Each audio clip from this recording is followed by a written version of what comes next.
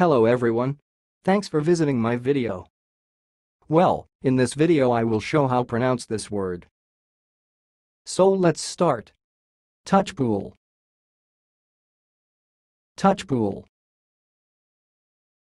So I will repeat again. Touch pool.